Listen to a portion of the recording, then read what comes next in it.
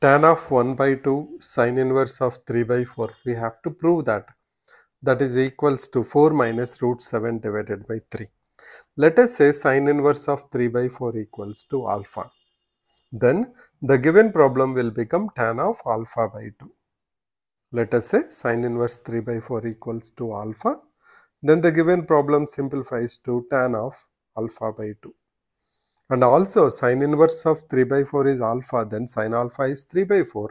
Then I can take the triangle for alpha and I can easily find out that missing side is root 7 or cos alpha is root 7 by 4. Now when we substitute sine inverse 3 by 4 equals to alpha, left hand side becomes tan of alpha by 2. But what is tan of alpha by 2 in terms of cos alpha? Because we know sine alpha, cos alpha, tan alpha Tan alpha by 2, if you remember, is nothing but square root of 1 minus cos alpha divided by 1 plus cos alpha. Because 1 minus cos alpha is 2 sine square alpha by 2, 1 plus cos alpha is 2 cos square alpha by 2. When you simplify that and take square root, you get tan alpha by 2.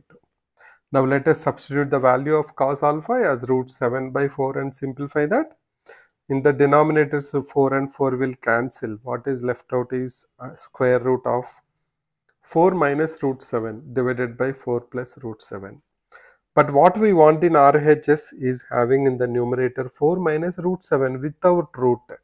That means we need to multiply with square root of 4 minus root 7 both numerator and denominator. So let's multiply inside the root with 4 minus root 7 both numerator and denominator then the numerator will become 4 minus root 7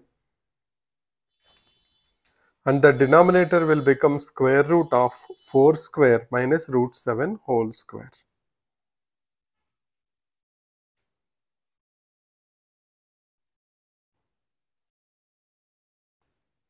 which is equals to 4 minus root 7 divided by square root of 9 and that is equals to 4 minus root 7 divided by 3.